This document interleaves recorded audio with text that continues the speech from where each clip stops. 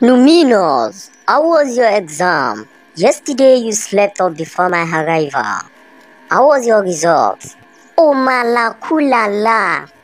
Daddy, you won't believe it was so fine. Trust you, I trust you, my dear son Numinous. You never for once disappoint. You are a brilliant child. So what's your position? Oh malakulala. Daddy, you won't believe my position, honestly. I really surprised you.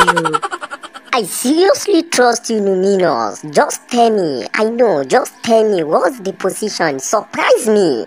Daddy, Omalakulala.